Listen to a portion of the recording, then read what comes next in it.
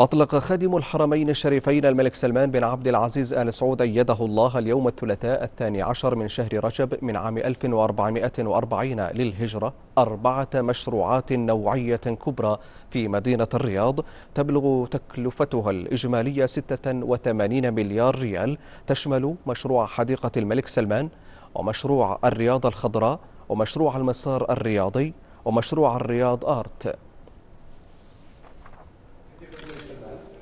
حديقه الملك سلمان هذه محل قاعدة الملك سلمان في الرياض وبعد توقيف الرفوف تنقل القاعدة. هذه الرياض إن شاء الله اعتمدتوا الرفوف تبدا مضبوط هذا توقيف من قبل سنه بتخفف الاختلاف على الناس.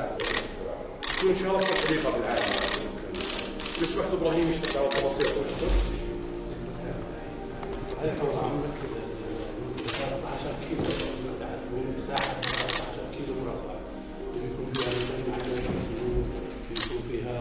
ست مساحه طول عمرك بيكون فيها ملعب الرويال جول ملعب الجول بيكون فيها 12000 وحدة سكنية بيكون فيها 9 مليون من الحدائق والمنعم نعم إذا اكتمل ويكون فيها هذا هو ترى على المدينة كلها يعني بيستفيد منها على الأقل 6 مليون نسمه مثلا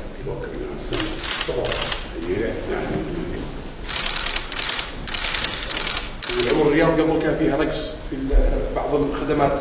الرياضية والبنية التحتية بالرياضة. هذا إن شاء الله بيكون أطول مسار دراجات ومسار هواة المشاة وهواة الهرولة والخيول وبعض المراكز مواقع. مسار اشكاليه برضه اي نعم الله يسلمك يكون بين كل نقطة ونقطة مجمعات رياضية بعمرك كامل. الله يسلمك. وهذا بيكون نوعي طول العمر ما في مثله في العالم الله يسلمك. مشروع ألف عمل فني طول عمرك لمدينة الرياض.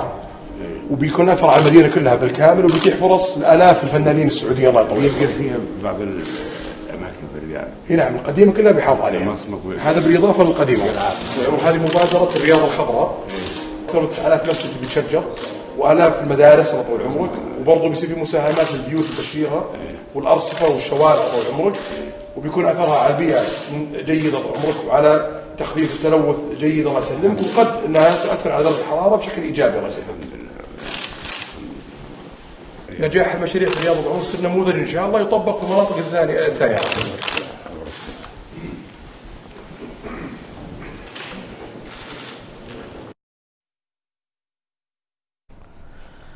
واستمع خادم الحرمين الشريفين أيده الله أثناء اطلاعه على المعرض المقام بهذه المناسبة إلى شرح مفصل من صاحب السمو الملكي الأمير محمد بن سلمان بن عبد العزيز آل سعود ولي العهد نائب رئيس مجلس الوزراء وزير الدفاع حول هذه المشاريع الأربعة التي تقوم عليها لجنة المشاريع الكبرى برئاسة سموه.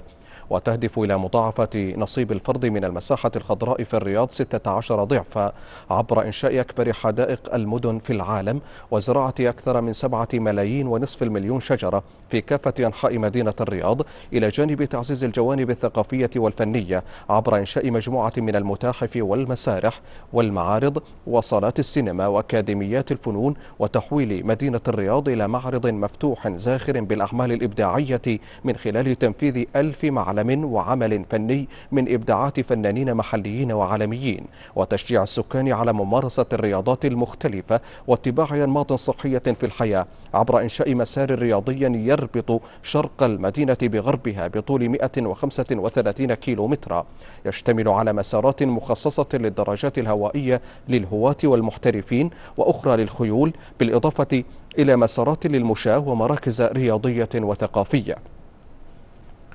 وتأتي هذه المشاريع الأربعة في إطار تحقيق أهداف رؤية المملكة 2030 ومن المتوقع أن تسهم في إيجاد سبعين ألف فرصة عمل جديدة للمواطنين في مختلف القطاعات كما ستوفر فرصا استثمارية واعدة أمام المستثمرين من داخل المملكة وخارجها.